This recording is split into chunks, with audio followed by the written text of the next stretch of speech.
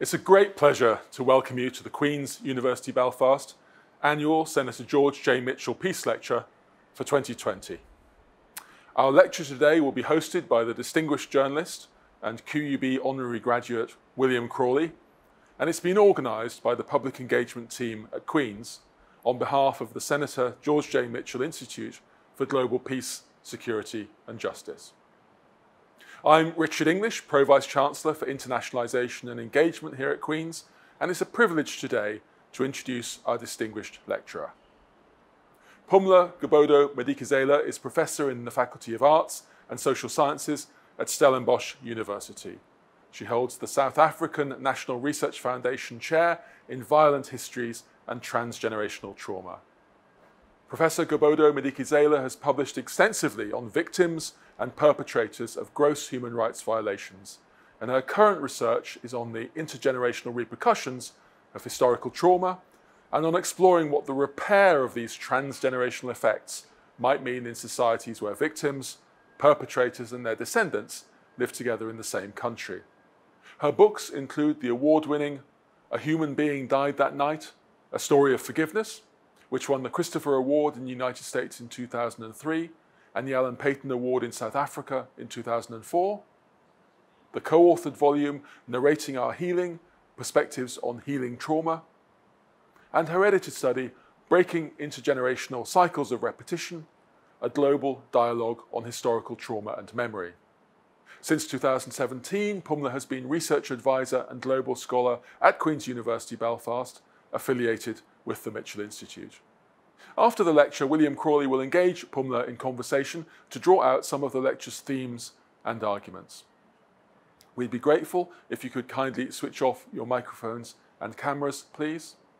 And now it's a great pleasure, in order to hear the Senator George J. Mitchell Peace Lecture for 2020 on the subject After Remorse, the Impossibility of Repair, to hand over to Professor Pumla Gobodo Madikizela.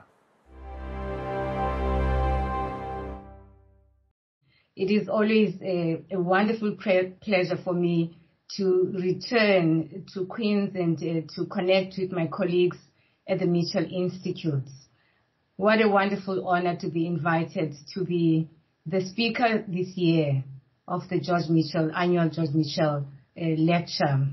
I am so privileged and I really appreciate and am very grateful um, to you, Hastings, and to John Brewer for uh, working with me on this to prepare for this for this evening. Thank you very much. And thank you to you all, the audience uh, in the background there, in the virtual audience. With this title, After Remorse, the impossibility of repair, I want to convey the idea of an exploratory dialogue between, on the one hand, the status of my work on forgiveness and remorse, and on the other, reflections based on my position as witness to the slow disintegration of the vision of peace and reconciliation in my country, South Africa. The aim of this exploratory dialogue is to test some insights that have emerged in our work with colleagues at Stellenbosch University.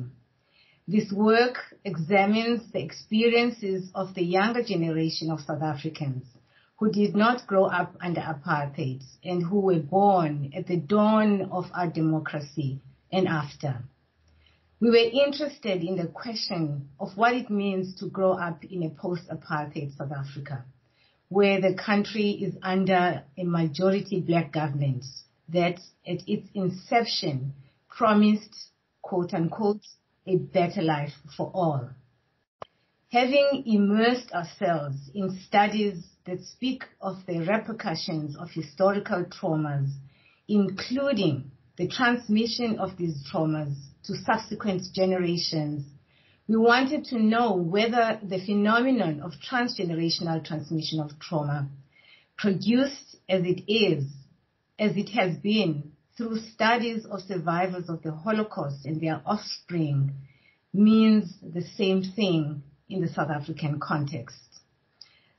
The data from our work and the data, quote unquote, from public discourse and the unfolding of social and political life since the fall of apartheid seems to suggest that not all is well with the vision of peace and reconciliation. In 1993, when Nelson Mandela and F.W. de Klerk were announced winners of the Nobel Peace Prize, almost 10 years after Archbishop Desmond Tutu was awarded the prize for his relentless non-violent struggle to end apartheid.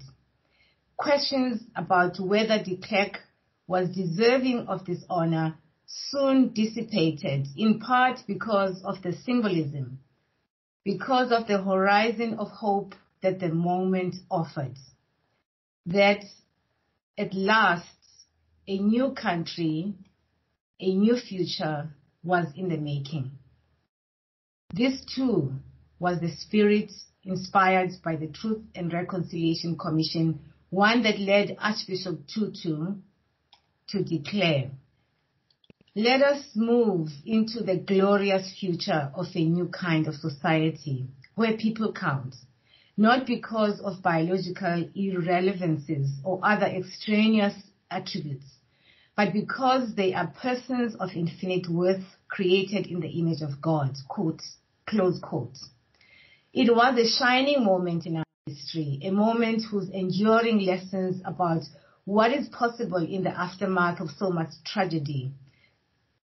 And this moment for me still shines brightly in my memory.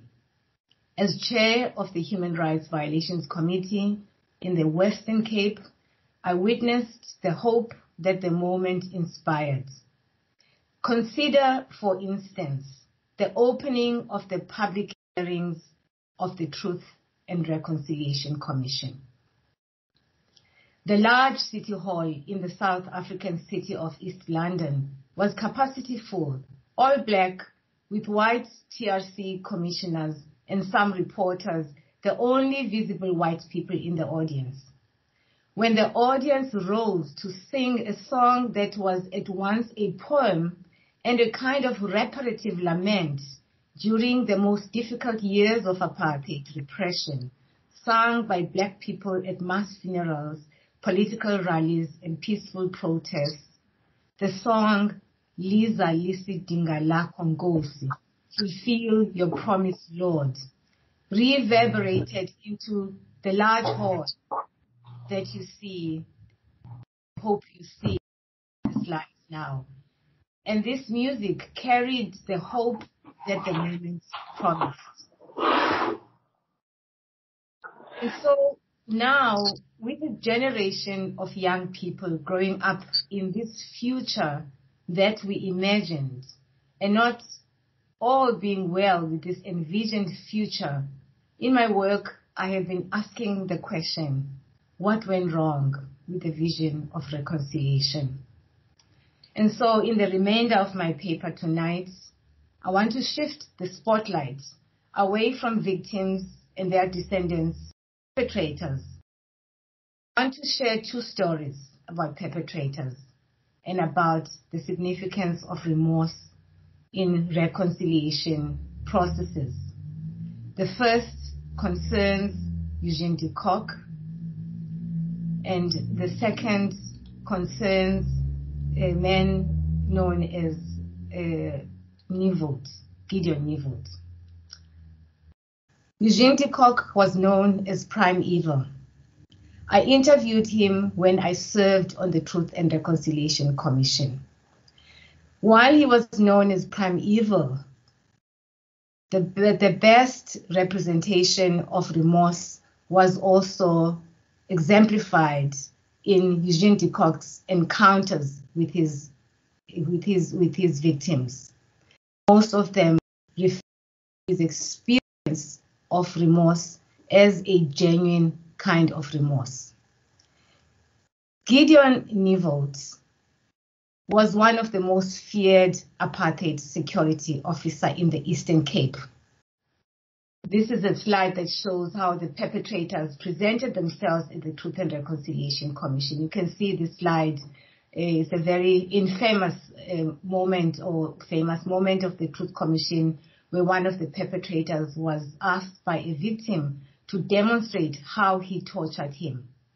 Now, like all these men who came to the commission, they carried these stories of torture, of poisoning uh, their victims. He also had a nickname. He was nicknamed Notorious, the Notorious Gideon Nieuwoudt. He was responsible for the murder of Steve Biko and the torture, poisoning of, of, of uh, Mthimkhulu, Siphiwe Mthimkhulu. Now, perpetrators were an important part of the Peace and Reconciliation vision of the Truth and Reconciliation Commission. The TRC made provision for amnesty to be granted by, to perpetrators on condition, among others, that they give full disclosure for their crimes. I have argued in my work that the amnesty provision, while not perfect, created avenues for broadening our of justice and for healing deep fractures in our wounded nation by confronting perpetrators with their inhumanity, while at the same time humanizing them and holding them to greater moral accountability. Demonizing as monsters those who commit atrocities lets them off the hook too easily. An invitational process such as the TRC condemns the terrible deeds but not too hastily, lest it foreshortens the accountability process and purposely excuse the perpetrator or combatant by dismissing them into the category of the hopelessly radically other, thereby allowing them to distance themselves from the consequences of their actions. For purpose of my presentation tonight, let me simply mention that it was this context of amnesty that remorse was made possible. I will not go into too much detail about this process of amnesty. Perhaps we'll say more about that in conversation with William. The moral reflection that occurs with remorseful feeling can be quite painful. And because the perpetrator has to face the damage done and the fact of its irreparability daily, they need the affirmation of the wider community to confirm and validate their belonging and worthiness to be part of a moral community. The absence of such confirmation by the community, which the perpetrator has joined to reclaim their sense of being human, may lead to an undoing of the perpetrator's sense of personal identity a shattering and total disintegration of the self. And I'll say more about this in my um, reference to Eugene de Kock. In other words, in order to sustain the remorse, in order to carry the enormity of the burden of the atrocities that perpetrators have to confront daily, they need the acceptance of their remorse by the wider community. Now, a perpetrator's remorse for crimes that were committed as part of systemic oppression often evokes responses that question its authenticity. Remorse, however, can create transformative moments for the victim and others involved in the encounter with the remorseful perpetrators. The significance of remorse then is it to open up for the production of ethical subjects both from the perspective of a victim who has been carrying a lot of complicated emotions about the trauma, as well as the subjects in societies that are emerging from mass trauma and violence. What are the characteristics of remorse? And I want to just say something very briefly about this. Now, we often assume that uh, when perpetrators exhibit overt and excessive dramatic bodily expressions in the course of confrontation with their crimes, they are showing signs of remorse. There are several stories, examples of this. And one from, from South Africa, in fact, some of you may have watched the famous uh, trial of the Blade Runner, the Olympian Oscar Pistorius, uh, about the murder of his girlfriend and Oscar Pistorius broke down in court. He was throwing up. He was really almost like uh, performing a, a kind of remorse. And, and indeed, in, in the judgment uh, and, and, the verdict that was passed by the judge, she cited uh, her um, understanding of the behavior as behavior that was remorseful. There's also the, the, the famous Joshua Oppenheimer film. Some of you may know this film, The Act of Killing, where one of the is based in it's a story from Indonesia. It's based on uh, these elderly men who operated as death squads during the 1965-1966 Indonesian uh, so-called communist purge. In this film, one of the men uh, um, acts out a kind of embodied type of, of, of remorse, uh, what some scholars have called, have referred to as, as a genuine sign of genuine remorse. So it's, it's an enactment, it's an acting out of, um, uh, of, of, of, what seems to be remorse. Now, my own view on this is that it would be misleading to think that bodily reactions alone are a sign of remorse. It may well be that a perpetrator's remorse is made visible through embodied wrenching pain. But I think remorse emerges from a deep sense of guilt and recognition that the perpetrator's actions led to the harm and suffering of victims. In order to be meaningful, remorse should evoke feelings of concern for the victim, enough to wish to make amends, to repair the suffering that the perpetrator's actions caused. I, I see these acts, these other acts that I've referred to, these uh, dramatic bodily uh, uh, showing of, of, of, signs of, of pain, as, as pain that really is more directed, focused on the self rather than on the other.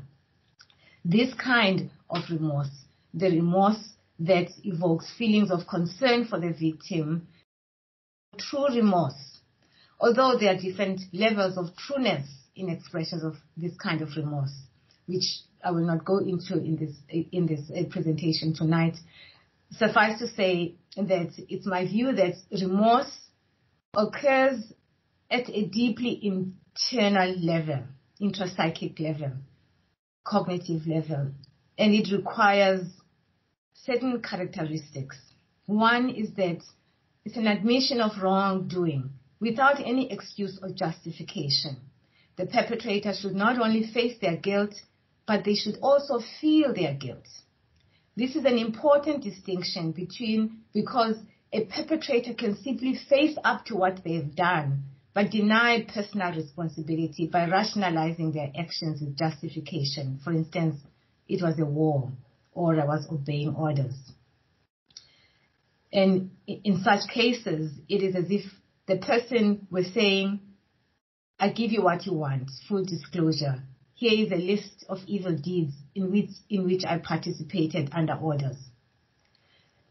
The second important part about remorse is acknowledgement of personal responsibility of the perpetrator's actions and recognition of the pain and suffering that these actions have caused. I consider acknowledgement the knowledge that answers the question, what happened, in a way that goes beyond simply dishing out facts, the most critical aspect of remorse. In fact, Albie Sachs, former justice, retired justice, and he himself suffered um, hugely from the atrocities of, uh, of, of apartheid. He has this to say about uh, about uh, uh this point about acknowledgement. He reflects on testimonies at the TRC and argues that, quote, Acknowledgement presupposes a sense of responsibility for the occurrence and understanding, an understanding of the meaning that it has for the persons involved and for society as a whole. In other words, the, the responsibility for the occurrence must be fully understood by the perpetrator as having resulted in the consequences in human life or in the pain and suffering of, of, of their victims. And so a perpetrator has to face this and acknowledge that he, he or she is the one who did it. Acknowledgement of wrongdoing that conveys a preparedness to take responsibility involves responding in a manner that implies care. This is very central. Caring for the other, showing that in this response of remorse, I am so concerned about the other. I care for the other. And I find my language offers very powerful ways of capturing the meaning of this caring for the other. The sense of responsibility in the Xhosa phrase, for instance, of to take responsibility.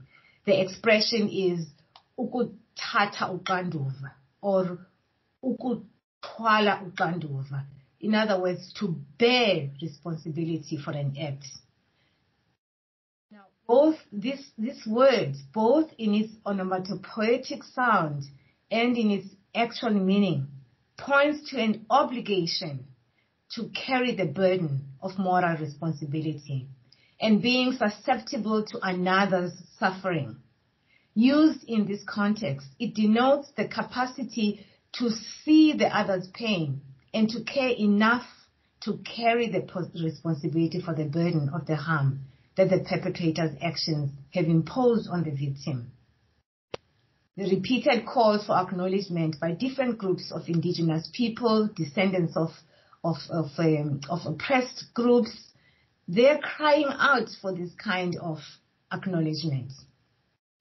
An important dimension of acknowledgement that we should make uh, more explicit here is the acknowledgement of the debt that perpetrators owe to their conscience, at least those who have a working conscience, which they repeatedly suppressed to the point that allowed them to commit the horrible acts against others. The problem is not only suppression of the perpetrator's conscience, but also the society or ideology that enabled such suppression to occur to the point that a perpetrator can allow themselves to commit horrible acts against others. Therefore, the acknowledgement of complicity by those who benefited from the human rights violations of perpetrators the members of the group in a position of privilege as beneficiaries of oppressive policies that targeted another group is as important as the validation of the perpetrator's remorse by the group of beneficiaries. In other words, the community of others that supported the perpetrators ought to receive and hold the perpetrator's own remorse because it was for them that the acts were committed. Now, I'll say one last aspect and then I come back to the of the importance of the community support. A third aspect of remorse that should be present is the sense from the victim's perspective that the remorse signals a change in the perpetrator.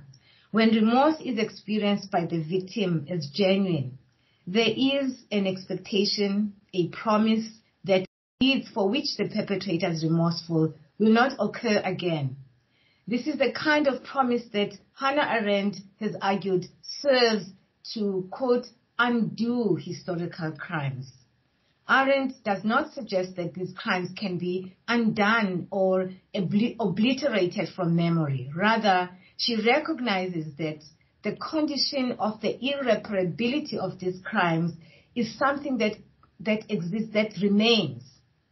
But that the promise then, the promise is in that this will not happen again. The irreparability exists and remains, and this is the challenge we face with these crimes.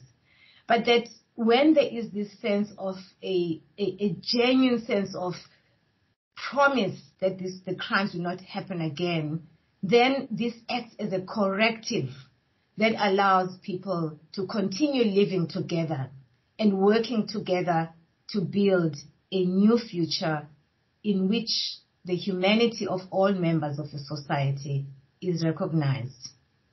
What makes remorse possible is the perpetrator's subject position of facing their guilt, being accountable and acknowledging personal responsibility.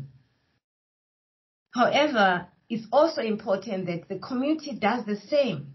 But what we find is that often perpetrator will recognize their crime and acknowledge their crime, but because the perpetrator is now identified as the one who holds and carries all the evil of the past, they are the ones who now carry it alone without the supportive environment of a community that accepts it. On the contrary, there is a rejection of the perpetrator as has happened with Eugene de Kock. Eugene de Kock in South Africa, when he was released, the first encounter he had in a public, at a public event was an encounter with an audience that was predominantly white. And his presence in the room was rejected by the majority of the people in the room who sent a message out to the chair of that event. He, had, he was attending the launch of a book about himself. And there was a message that he's not welcome in the room. And this was a majority white audience. And the consequence of that was a deep disintegration of de Kock's sense of self only weeks after that event. He went back and he had to be hospitalized. He had a psychiatric breakdown. My argument here about remorse being a both a, a blessing and a curse concerns this issue of the facing of the past, one facing a perpetrator like Eugene de Kock, facing their terrible past alone and not being held by a community of others in order to be to be able to carry this burden.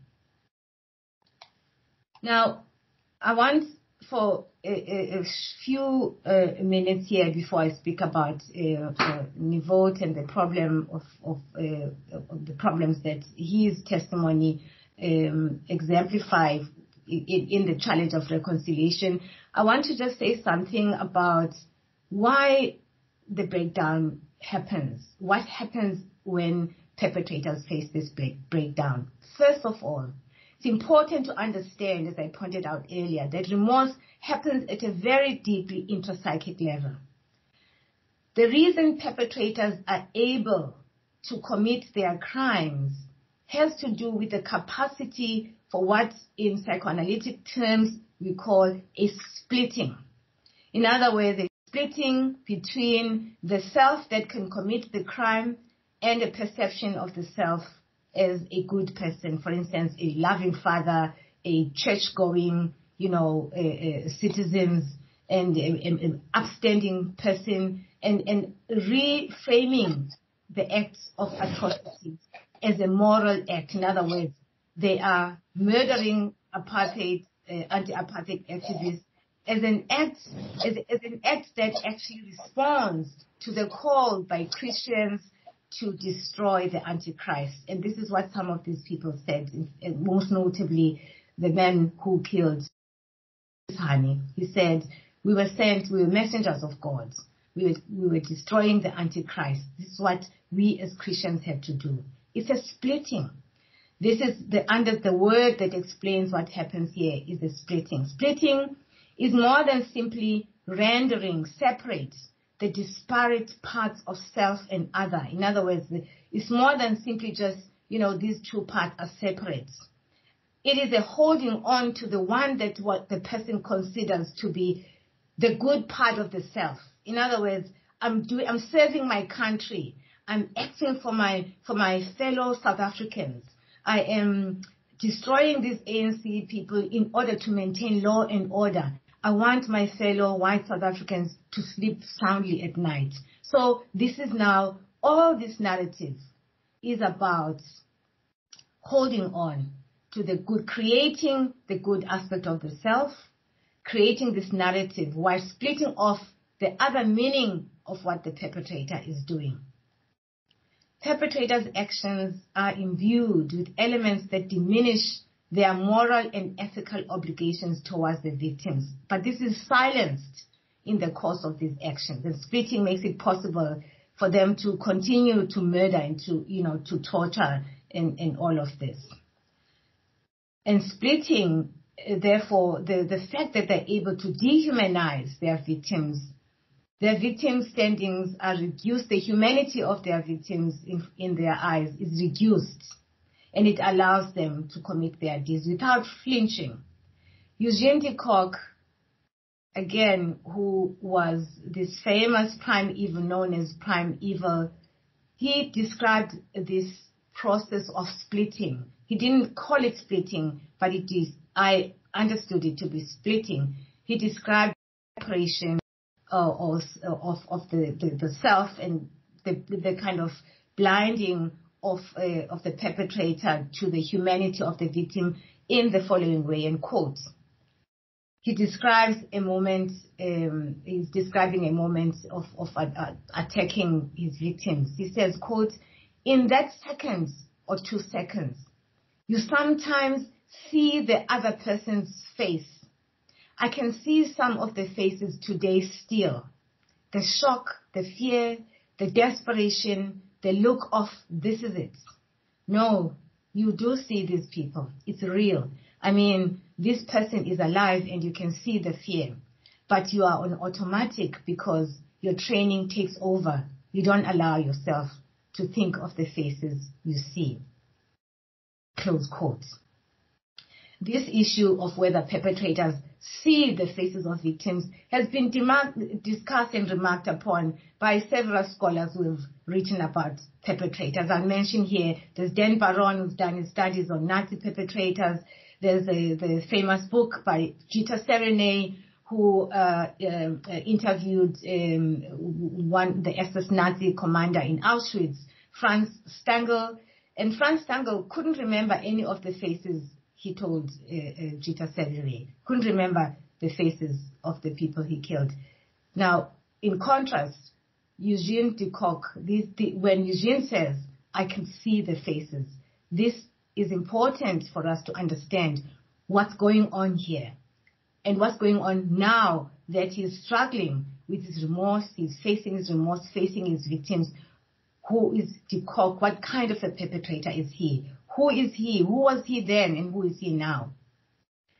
In my view, what this suggests is the possibility that in certain cases, a working conscience and some degree of critical moral reflection, even during the perpetration of murderous acts, may be present.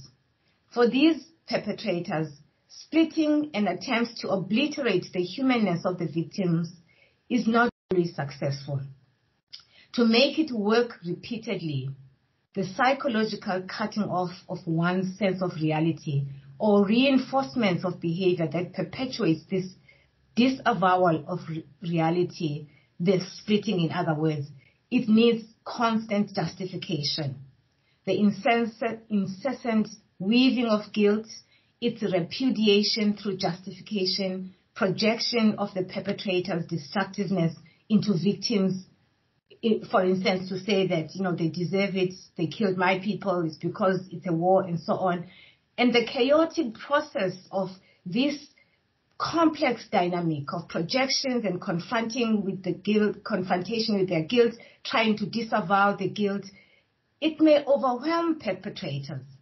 And when the splitting fails, the bite of conscience, as it has been called uh, in, in Freudian terms, may express itself in a range of symbolic ways. For instance, I write in my book about de Kock when he came back to one of his murderous operations when he had to take several showers because the smell of blood in his body, on, on his skin, wouldn't leave him. And he, he was taking these several showers and wiping off and taking another shower, but the smell just remained on his body. A more striking example of how this, the, of this importance of seeing the faces and how it operates how it operated in Eugene de Kock is when he encounters the daughter of one of his victims that he had murdered more than a decade earlier. Marcia Khoza, whose mother was murdered by Eugene de Kock when she was five years old, um, went to prison to visit Eugene de Kock in her late 20s. As she waited for him to be brought out of the, from the prison cells to the visitors waiting uh, uh, area Khoza sat at a strategic position that would allow her to watch de Kock when he walked in to meet her. When their eyes met, de Kock tripped his balance as he walked towards where Khoza sat. The first thing he said to her, you look so much like your mother. He could still see some of the faces of the victims of his murderous deeds, he said. He told me when I interviewed him. And now he remembers the face of the mother of this young woman. Seeing the faces of his victims made them real for him. No longer were they dehumanized objects. The daughter of the woman he killed was sitting in front of him and it was almost as if it is the victim herself. She was real. And not only because she is just the offspring, but also because she is alive in his memory. Victims in his memory are no longer objectified and reduced to an unbearable smell that clung to his skin. They exist as a living memory of human beings whose lives were snuffed out by his actions. The need for the reparative act to reconcile the split off parts of the self and hence to face his guilt is stronger because of the full recognition of the other's subjectivity, not as object representation in his internal world and as mere objects that fall outside of his moral sensibilities that he shared with others on whose behalf he was committed his atrocities, but as living human beings. Now, when he's facing this, and he is experiencing the remorse as a result of facing his crimes and feeling the sense of guilt. And because he does not have this holding that he, he needs from his community of others for whom he was committing the crimes and for himself, of course, but he's left alone to, to hold this immense atrocity, memory of an atrocity. And this is where remorse falls apart. This is where the danger of remorse falls apart because now he's facing it, but he's gone, he went far. It's almost as if by looking at himself, he cannot reconcile because remorse is really about reconciling that past and the, the person who did it. But he's gone so far deep into the abyss of darkness that it's, it's difficult and impossible to reclaim this darkness as being the same self that he wants to be now. And because there is no one, there is no feeling of being held, he falls back into the abyss. This is why some perpetrators and most perpetrators will deny, you know, and not face the guilt because it's too much to bear. They are afraid of going back and deep into this darkness because they, they cannot bear it. de Kock went into the darkness, looked into the and saw himself there. And now how does he bring it back to connect with who he is? And that is the challenge of remorse. Now here is the bigger challenge of remorse. Because there is this community out there on whose behalf these crimes were committed, they too ought to bear some of the accountability. But because of the rejection of these acts and the denial, for the same reason, if they accept de Kock's remorse, then they are accepting accountability or their own responsibility in these acts. So they stay away, they keep away, they distance themselves. He was Prime Evil, it's not who they are.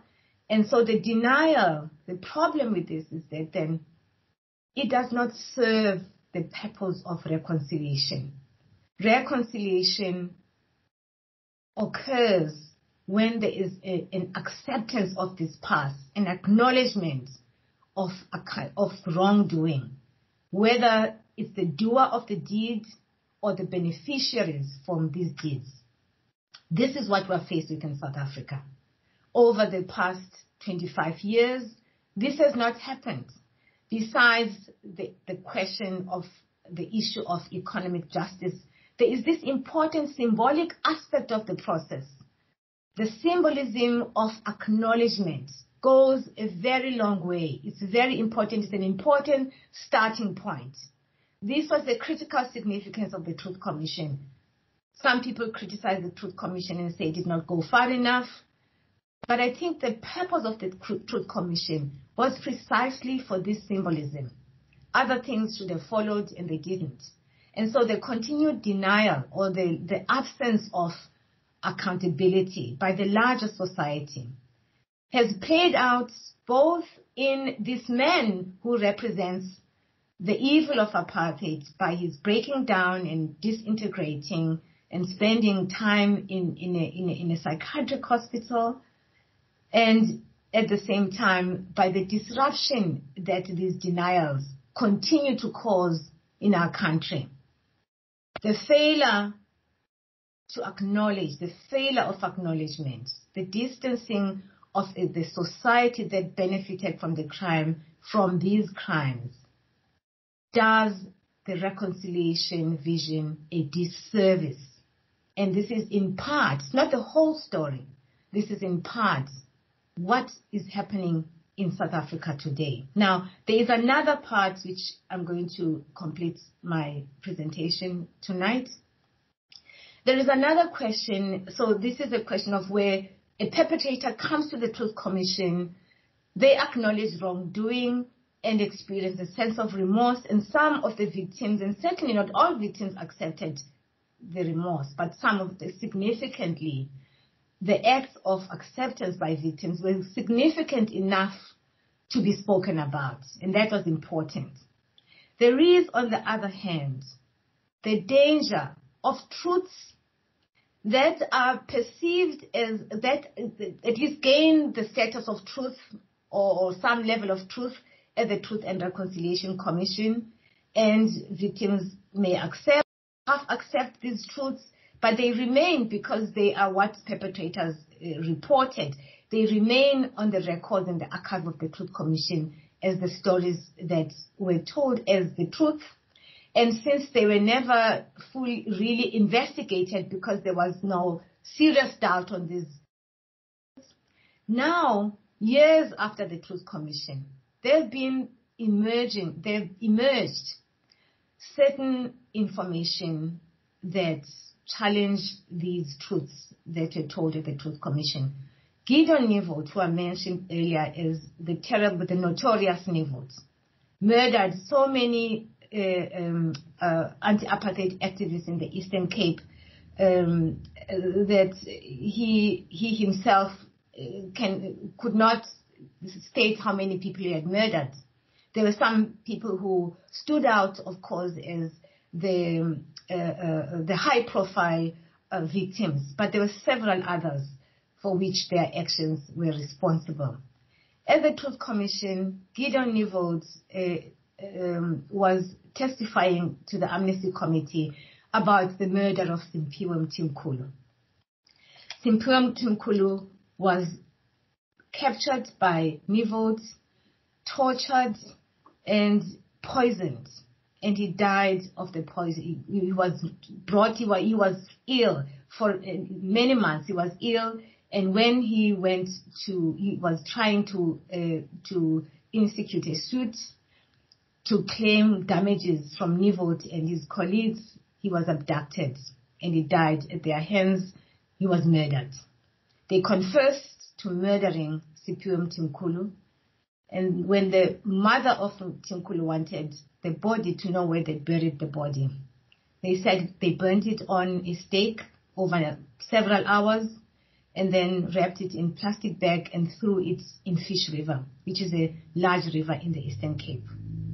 Now, the parents were so de- desperate to have some information about where the son is that they went, they gathered the community of relatives and went to the banks of the Fish River and conducted a ceremony to bid their son goodbye, to, you know, conduct the kind of rituals that they would have done if they had had the, his body. Several years later, when the investigators who are responsible for the exhumation of secret graves by these perpetrators, when they discovered, when they were involved in uh, um, uh, investigating the, the, the site of the crime where Mtimkhulu was tortured and where they believe he was burnt by these perpetrators, they discovered that he was, his body and the bodies of others were dumped in a cistern tank. Now they had told the families that the bodies were dumped in the river and here they were in this, in this tank on a farm just outside of Cradock, hidden there and gathering all the mold in with this water. They had to uh, exhume, so to speak, the bodies from this tank. So here was the truth that the bodies were buried here. And this is not the only untruth that was told at the Truth Commission. And one can imagine what happens when victims leave at the Truth Commission feeling a sense of remorse, uh, relief, because they, they are going away with some sense of truth about what happened to their loved ones. And years later, they discover that this was not true. It undoes and reopens the wounds that when, had not even healed. And so people have to begin the journey all over again. Now this is not just about a story of individuals. Stories that are told at the Truth and Reconciliation Commission were stories shared by the larger community of people. So when these, when we reflect on these kinds of incidents, you can imagine also how the sense of being unfinished, of sense of being something not quite complete among victims collectively, victims of oppression collectively, that there's something that's missing. And it seems to me that if we look back at the Truth and Reconciliation Commission and we read these stories, these narratives, almost as text, in other words, you go back to the moment of the Truth and Reconciliation Commission, now that we are here, at the moment of that future that we're building 25 years later, we have a chance to actually rethink our responses at the time of the Truth and Reconciliation Commission. And that chance means we can reread this, rethink what victims told, the stories that were told by victims at the Truth Commission. And that allows us to reinterpret that moment as a moment perhaps that was about a foretelling of the future. If you look at that image that we showed on that slide, those slides, if you look at that slide, the slides of this man who shows what he did to the victims, the torturing with what was called the so-called black bag method. What kind of country will emerge from that kind of thing? If people, this was done to people, if people were buried in secret graves, were tortured, thrown in rivers, killed, and communities massacred. These stories that have come to the Truth and Reconciliation Commission, they tell us that this is not something that can be repaired. That the word reconciliation is a word that we need to revise. We need to rethink this word. That in the, in the context happened in our history, we need to think about other ways of dealing with it. I suggest that the way to think about how we move forward is to think around the word reparative, the reparative process, that we think really about not so much about reconciliation or forgiving or forgiveness, because these have a goal. You are going to forgive. There's kind of like an end point there is a, we are talking here about hurts and pain that remain in people carry in their bodies. If you watch that, there's something visceral about that. And when we think about the notion of what the transferred pain, stories about what happened here that were not finished, were not completed, they are stored, as it were, as memories and passed on to the next generation so that the pain is felt deeply by the next generation that now has to complete the work of healing. But even with this generation that has to complete this work, carrying the pain from the past, but dealing with the present contemporary issues of pain and suffering and dehumanization by its own, by their own government. What hope is there for us to actually heal from this language of reparation. This is why I propose, I am exploring and I propose the notion of reparative humanism. That it is in this concept of reparative humanism that we can think about ways of connecting to one another so that it's not so much about finishing and completing, you know, coming to an end of reconciling or forgiving, but rather connecting in solidarity, thinking about how do you connect in solidarity as fellow human beings? In order that we take, we share the responsibility of moving forward to build a sense of social justice in our countries that are hurt by this past. That the notion of repair suggests an ongoing process. It's almost like you wake up every day, you have to repair. Nothing is finished. And this is why I think so many people don't want to engage with these questions. It's too, it's too, it's too complicated. It's too taxing. So they turn the other way. They don't want to deal with it. I end with a story that illustrates this point about the fear of facing this every day.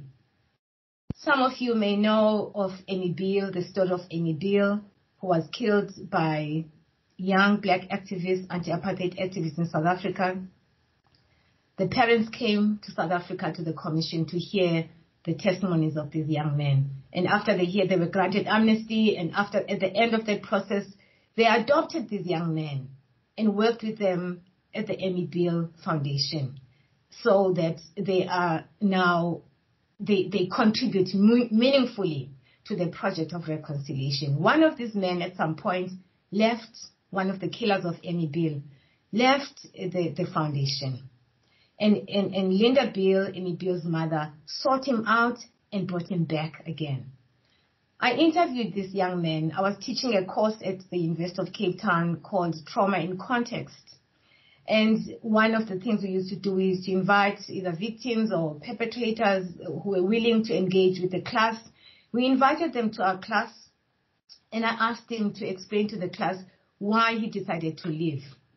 And he said something that is so important for us to understand about what we mean by rehabilitating perpetrators.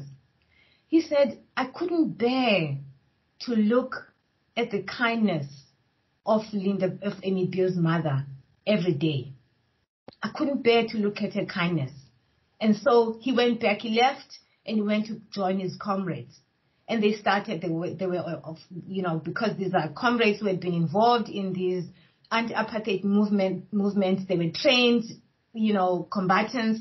They used their training in cash heights, in robbing banks, and so forth. So he went to that life for a moment. So I asked him, but how can you? What does it mean to join to go back to the life of violence if you can't face? Because you know the thinking is that well, if you can't face, then maybe you do something different.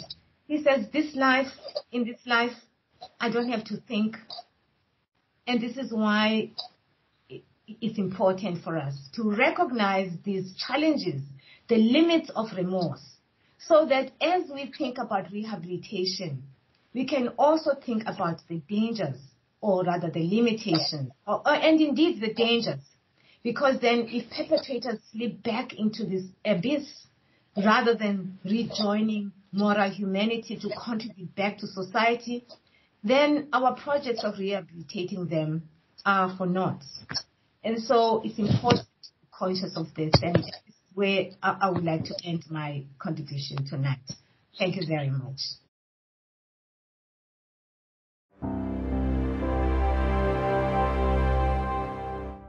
Pumla, thank you so much. That was that was really uh, fantastic. Unfortunately, I've got about 15 pages now of of questions for our conversation because I find that fascinating.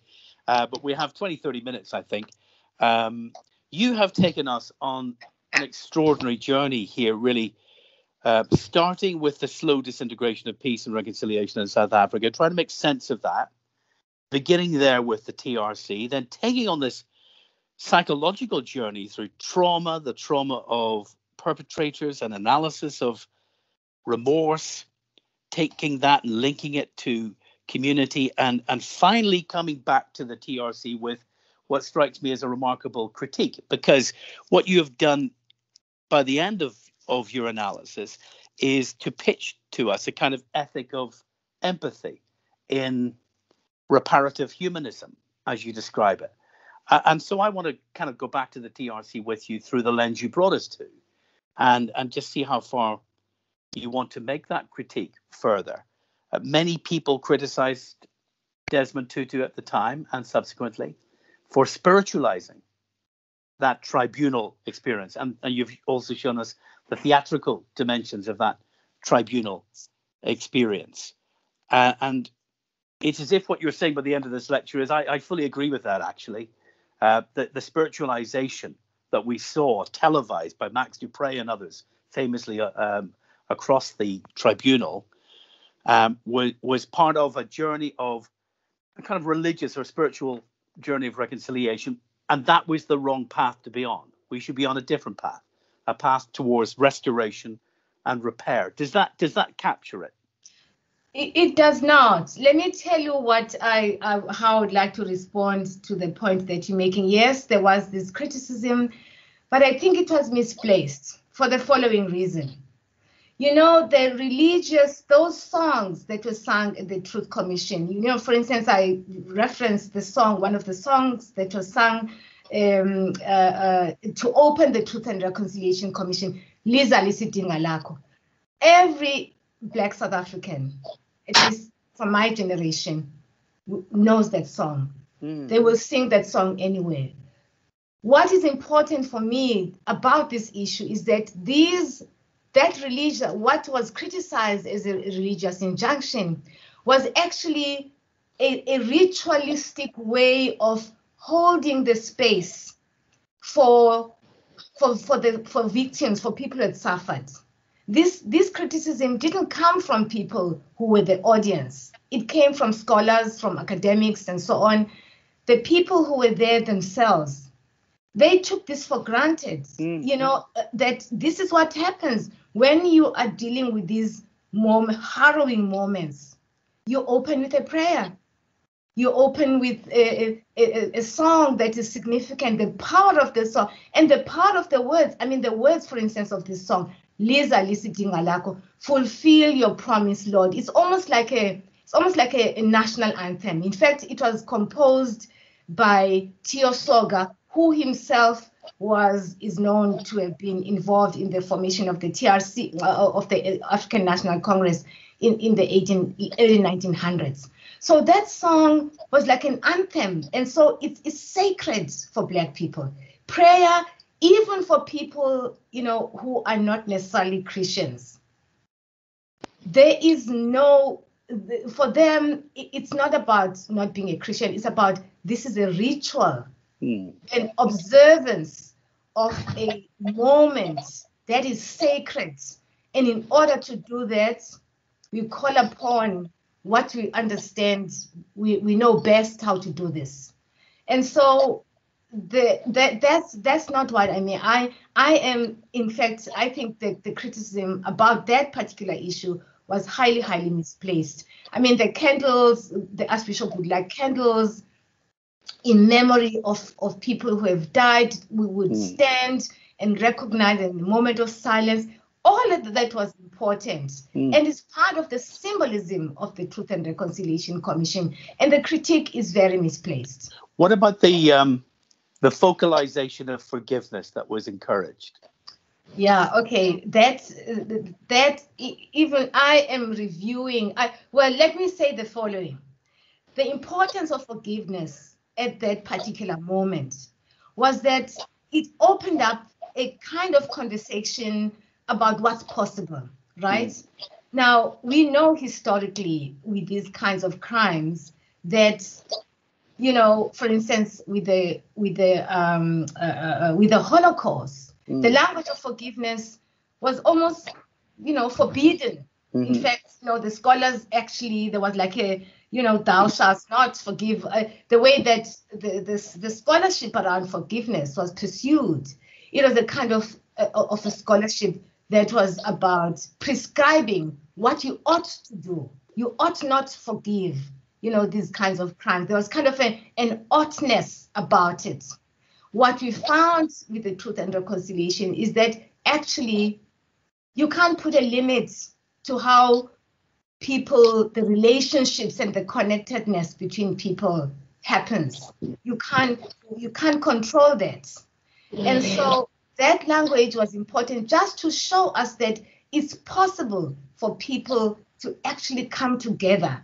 Now, the language of forgiveness itself, and, and, and this is what I'm I'm I'm exploring in my work, mm. the language of forgiveness. Um, is a is, is actually not accurate doesn't accurately capture what happens even when people say i forgive in my mm-hmm. view it's much more than yeah. i forgive the much more that i'm referring to it has to do with just people being able to you know remember that splitting apartheid was the was the splitting of the mind you know it wasn't not not just about you know uh, I can mix with a white person. It was actually in the mind. Whiteness and blackness are separate in the mind. And so, what the Truth and Reconciliation Commission did, and with through these acts of forgiving, it made possible the potential for people to mm. connect. I look at forgiving, forgiveness as really a process of connection with one's former enemy. There is, mm-hmm. of course, the question of, well, was this were people forced and so on? I, I wouldn't say forced. I think that there is a, le- a level at which, because the environment, the mm-hmm. context is a context where we are now talking about reconciliation. And in this context, you know, we sort of, ex- there's an expectation Yes. So, so, so, so yeah, you, you, you've met you've met people who will have, uh, and they've been interviewed. We've seen interviews with people who say, "I didn't feel ready to use the language of forgiveness. Yeah. I felt coerced mm, in this situation. Yeah. I felt spiritually coerced to mm. move to that point when I wasn't ready to be there. So that's what I mean about kind of overly spiritualizing." Uh, the experience of people moving through trauma. But you also mentioned amnesty, and that's the context around all of this, which gives a, kind of transactional nature or, or character to the TRC. Um, and you invited me to ask you some some questions about that because this is something we talk about a lot, as you can imagine, in, in Northern Ireland, um, and the potential injustices connected to amnesty. After all these years, what are your thoughts on on the amnesty process as it worked out in South Africa? You know, William, it's it's very you know in so, so what we what I have found, what I have come to accept is that none of these processes are perfect or can mm. be perfect. That we've got to hold the ambivalence. That that we've got to recognize that there was a need for this kind of thing, for whatever it was, for what it was worth there was a need for this process because it allowed a certain kind of conversation to take place. At the same time, the way that this amnesty, the amnesty was granted sometimes seemed arbitrary. And mm. as a result, you know, it undervalued, yeah. you know, the suffering of victims. And and so there are those those those challenges with the problem, you know, that the fact that the amnesty process required perpetrators to give full disclosure. It allowed perpetrators, for instance, the story I shared at the end, where Nieuwoudt blatantly lied, lied, you know, to the commission. Mm-hmm. Not only did he lie, then after, just before he was recalled to the commission because of other techni- some technicalities, before he went there, he sought out the family and went to their home to ask their forgiveness and reiterated the lie that he told to the Truth and Reconciliation Commission all the time, knowing that he was lying. So there is, you know, there is a challenge with this process, but I wouldn't say that one should throw the baby out with the bathwater. I think that we recognize the limitation and perhaps a, a greater rigor in you know in terms of investigations of you know the veracity of what perpetrators told the truth commission there, there was there was a, a, an investigating arm, you know, mm-hmm. of the mm-hmm. Truth Commission, but evidently, you know, it, it, was limited. Remember also that a huge number of documents were, were, were thrown out, were destroyed just before the commission. In fact, even long after the Truth Commission. Mm. So my answer to the question is the, the, the complexity of the moment and its historical significance should allow us, should enable us to, to hold the ambivalence that, you know, and, and, and be able to accept that this is what it was for, for the purposes that it served at the time.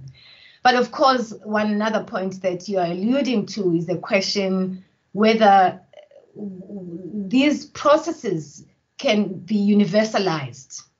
And the answer, of course, is no. You know, that that we, we, we learn, we draw from them what is important to learn, what mm. insights are important, but they cannot be replicated, you know, as they are because they may not, you know, they're not they may not necessarily be appropriate. But the notion that, you know, you you give a little you give something a little bit to perpetrators in order to get some truth even if it's not the the whole mm. truth as we know happened but that's something happens you know these truths were exposed and these farms that uh, were owned by these people in in Pretoria in the outskirts of Port Elizabeth where the graves I have not all been dug out yeah the process still remains. I mean, all those people whose bodies have not been found, they are hidden in these graves. In fact, mm. some of these graves were that were identified. They would be they would be identified, and perpetrators would say, "Oh, the three people were, are buried in such and such a grave."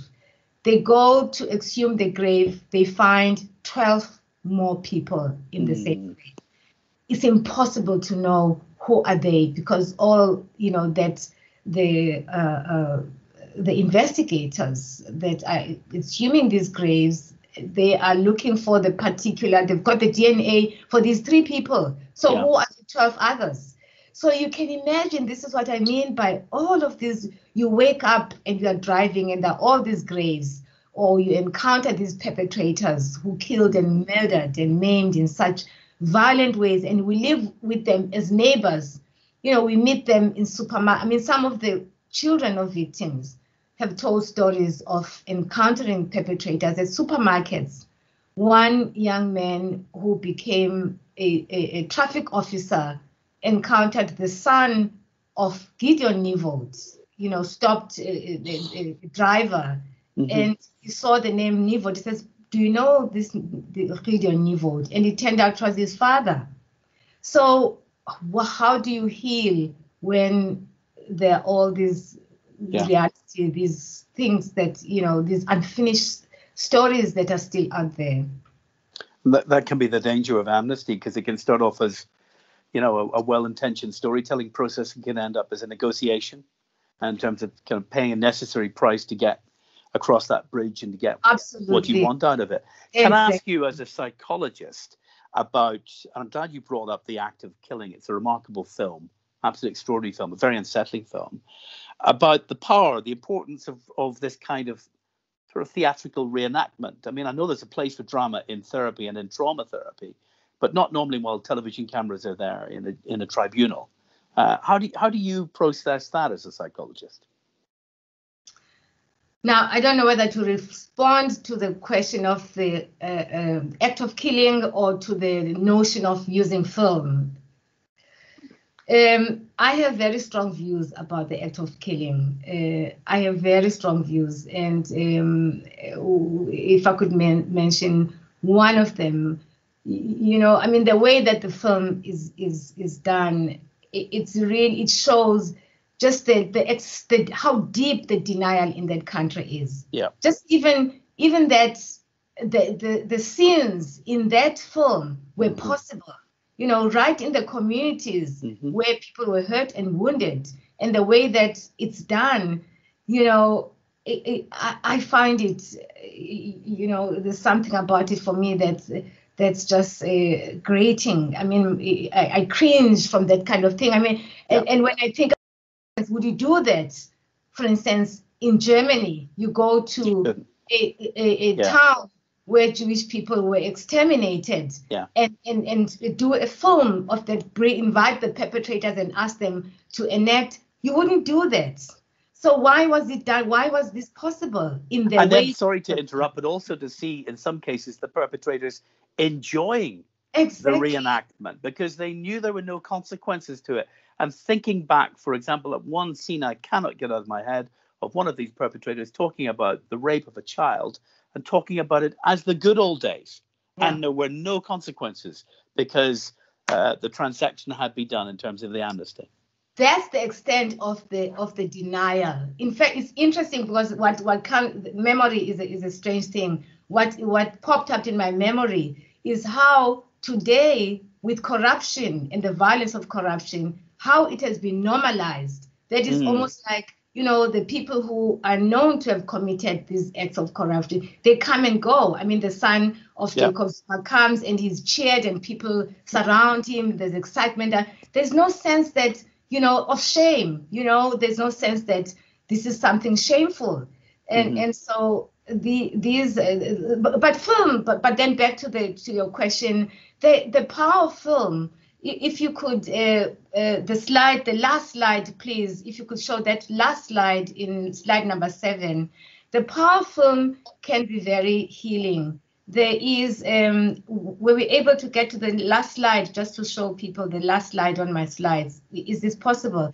So anyway, what what there, there is that slide shows how a perpetrator go. It's a film called Black Christmas and it's about a perpetrator who goes back to the community uh, to seek forgiveness. And it doesn't end there. He, he, he is today involved. This is Stefaans uh, Stefaans Coetzee uh, and, and one of the victims, these people from from Worcester, where he hmm. planted a bomb and it killed several people. And they they decided to uh, to to go to prison to take to take a train. You know, the, a train was hired for them to go to meet Stefaans because the prison wouldn't release him to the community. And so that you, scene you see there is after he had made a speech, a heartfelt speech about, you know, apologizing for his deeds and uh, then when he was released on parole, he went back to the community. So you can see the importance of this film because when we showed the film, Mark Kaplan did the who does a lot of these films um, or human rights related films, really as, as, a, as a person himself who is pursuing truth through the lens. I mean, this is a thing very important that these people do, and I know also uh, um, at the Mitchell Institute, some of the colleagues do use film a lot uh, to pursue truth, but also to expose truth, but to, to also present it, represent the truth in communities so that you can create language to talk about what happened through the medium of something creative like that. And you create new conversations. For instance, we're able to show the film to audiences, different audiences. And we've had different responses, mm. some mm. not welcoming, some angry because it focuses on the perpetrator, but some people feeling a sense of um, being acknowledged because of the the depth of of, uh, uh, uh, of, the of truth truthfulness with which this young man is relating to what he mm. did in the past. And so it's, it's healing, even for people who were not necessarily at that scene to meet this man, people who were affected. Remember, these crimes may be narratives told by individuals, but as they're telling the story, there are several people who are actually living, excuse me, living through their stories, listening to the stories, but re-experiencing. And so the moment for them is also a moment of telling of their own stories and so vicariously, you know, the impact of that moment of being heard is also felt by those who are not necessarily on the stage. Pumla, can I ask you about the limits of repair? You've laid out in, in quite complex terms, actually, the dynamics of repair as you see the possibility of, of repair, which involves remorse and the community acceptance, in some ways going to that dark place with that perpetrator in order to embrace them. Difficult concept that, but to embrace them and, and to restore them.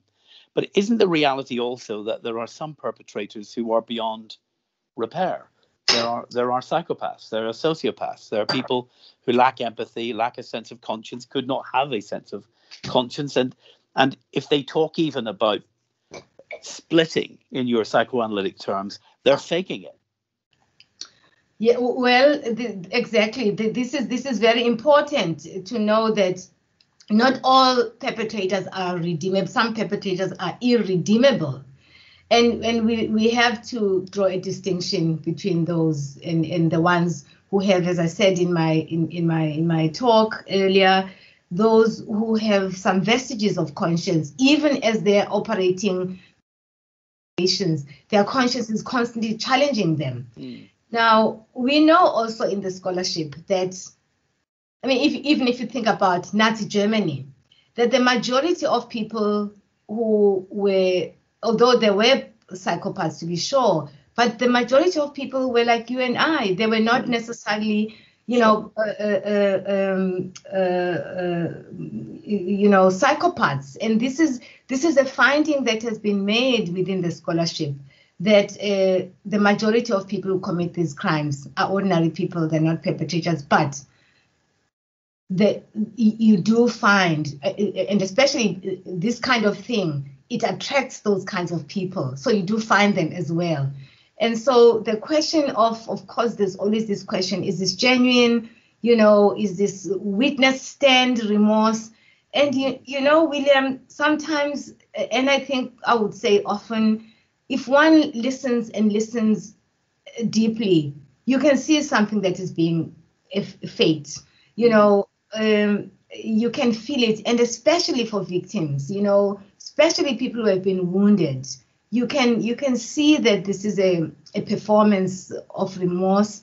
There, there is a it's, it's on the surface, you know, there is no depth uh, uh, to it and and we see it, it, moving beyond perpetrators because really you know if you think about who are the people who kept these perpetrators going mm. they are the majority of the population that yeah. benefited from these crimes right. so we we also have to think about what are the strategies of, of people at, you know who benefited from these crimes what what strategies do they use mm. to try to escape accountability and, and, what is the consequence what are the consequences of um, of, of their response to these crimes and this is what we are we are we are facing because mm. perpetrators you can you know a thousand two thousand five whatever the number is um, but our neighbors are people yeah. who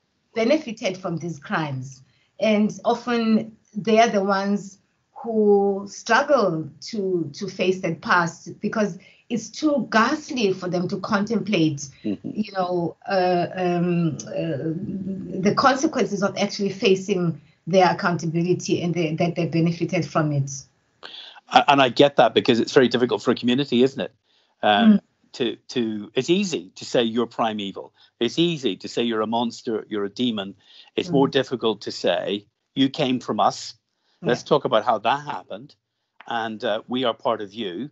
And if we're going to move on as a society that means we get restored you get restored. We do that together. That's a very difficult thing particularly and i want to come to this actually for politicians and for policymakers um, because and we see this with the whole debate about prison reform and re- rehabilitation it's a lot easier to say lock them up, throw the keys away, than it is to talk in these complex psychological terms. We often hear politicians in Northern Ireland saying of uh, perpetrators, if I can use that language, leave the stage, go away, pack up and go away. But what you're saying to us is if we want to have a truly healed future, we can't have perpetrators going away and leaving the stage. We need to find a new place for them in the family of our community. And to find a place in the family of our community, some there has to be some act of recognition that they were not acting alone. I mean, in, mm. in the sense that there was a whole society behind them. Even those who say lock them up, those who say oh these were you know just bad apples and so forth. I mean, just recently in South Africa, F.W. de Klerk said made a statement publicly to say that apartheid was not a crime against humanity. And so, I mean, those kinds of statements reinforce the denial because then all the people who supported this and voted, uh, you know, the apartheid government in, in power, they now have a reason to deny, to say, oh, what matters actually now is the problem of corruption. There's nothing to to to uh, to confess or to be guilty about the past. We are now we have a problem with corruption, and and, and so it allows the denial to be perpetuated. And unfortunately, perpetrators are the ones who bear the brunt. You know, they're the ones who are left with this burning stick. And, um, and, and then, of course, because the, the community around them is in denial, mm-hmm. it's either you know putting the burden on them or helping them to deny. So we find, for instance, there are people here. There's a, a man called Dr. Death whose role in the South African Defence Force was to ma- manufacture poison. I mean, mm. this was a mm. heart doctor, heart specialist. When this person was facing, you know, trial, there was a community of white people who said, "Oh, you know, he's a great heart specialist," and so on. And all of these letters to the to the editors in newspapers and so on and so how, just you know, vouching for how great he is it would be to to suddenly strip him of his license to practice is denying them of the kind of professional help and blah blah blah so you know so this is the problem you know when people eh, who benefited from this pass don't themselves and people at the top do not actually take that first step to be yeah. the one to say something went wrong here and i'm the first one to admit that something went wrong then that opens the door for all others, you know, to do so. Just one last, I know that sometimes there's one thing leads to the other. I want to say this last thing to illustrate as well. Cyril Ramaphosa, for instance, the president, current president of South Africa, this is actually a very important illustration. Mm. He admits uh, he he apologizes to the nation because now all the stories of corruption the extent the breadth the depth the impossible, you know, abyss these men, you know, mm. descended into. The, yeah. oh, and women who, who were caught up descended into. Now we are discovering what it, it's all been about. So he makes a statement of apology and and and says the ANC is accountable because all of these people, the road leads back to the ANC yeah. of all of these crimes. Jacob Zuma, as of course we would ex- expect, he, he writes a long letter um, addressed to the president, Cyril Ramaphosa, and accuses him, accusing him of um, uh, uh, compromising the position. Uh, this is not his language, but of compromising the status and the standing uh, uh, of the of, of, of the ANC. That he's the first ever president to find fault and in public accuse the, the ANC for being corrupt. No other president in the history of the ANC has ever done this. Now, that is big time, you know, high level denial, exactly the kind of denial we are criticizing FW de Klerk for. But now, when it happens yeah. to the ANC, you know, within the ANC, we're supposed to turn a, a, a, blind, a blind eye, you know, but. Um, yeah, but I mean, and of, of, course, just to quote you, one thing leads to another. Yes. Um, polarization, deeply polarized societies fuel corruption, don't they? Because you don't need to worry about accountability. You can always just keep your side pointing the finger at the other side, and there's less accountability. You can get on with your corruption.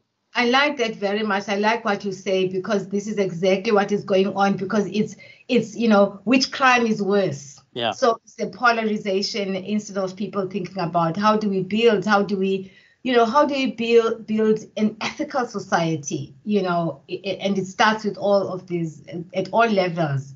It doesn't matter which side of the of the path you are on, but the responsibility to be accountable for building, you know, an ethical morality within our our society, uh, particularly in these societies that have a history of conflict.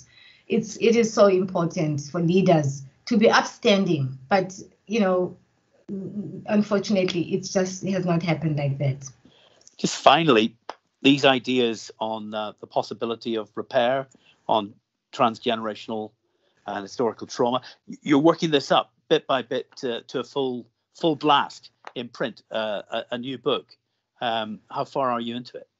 I, we just well we are the, the two processes actually one process is we're working with colleagues at the university within our research uh, now it's going to be a center on historical trauma and transformation we uh we we just did a book. In fact the the mitchell institute is is implicated in that book because john is one part of the series that uh, uh, my dear friend and colleague john brewer is is uh, is editing. So while we, we've done one book which looked at other contexts, uh, transgenerational trauma in other contexts. Now we are one of our um, uh, senior researchers is leading the analysis of this process, and so that's going to be the, the project. What I'm working on is is a is, is this issue of the, the the reparative humanism. I'm looking at TRC testimonies to look into what did we miss my project at, at Harvard, uh, the fellowship that I, I, have at Harvard, is looking at um, looking back at the Truth Commission uh, process right. to, to think about what is it that we missed. So it's almost like a different kind of temporality, you know, that sometimes trauma is about, you know, looking back, trauma of the past. But what I'm trying to do, I'm trying to look at what was the foretelling you know, there was the moment of the Truth Commission where people mm-hmm. testified about the pain and how it comes from the past. But how did, as I was saying earlier, how did this extent of the violation that has happened in the country, mm. how does it point us to a future of trauma? So, mm. so looking at the violence today and trying to rethink the process of the Truth, Truth Commission and to, to look forward, so to speak. Now, you know, um, uh, John Brewer talks about remembering forward. So it's, it's an adaptation of that in a way, they kind of a remember what mm. thinking back in order to remember exactly, yeah, in the future. So um, so it's those it's it's that's what I, that's what the, this project is about. And and I think I mean one of the things that I'm hoping for is that we use the Truth Commission. We don't use it enough. We use the commission as a site for for productive research. You know, mm. I, I, think uh, the, the Institute, the Mitchell Institute, and, and, and my colleague Hastings, who's heading up the Institute, is doing just that. You know, looking, focusing on what is happening in uh, uh, um, your, your country and, and the students working on issues related to what's going on there. We haven't done that quite in South Africa. So the hope is that we will be able to. This is why I'm really interested in staying connected with the with the Mitchell Institute in order to learn, in order for our students to learn mm. what their students are doing, so that they can also think about how their own context can be a site for research and for knowledge production. This is so important. Well, when you make it out of the archives, do come back to Belfast sometime, would you? Yeah, thank you. It'd be lovely to see you again. Pumla, thank you so much. It's been an absolute pleasure. Thank you so much. Thank you. Thank you. Appreciate it.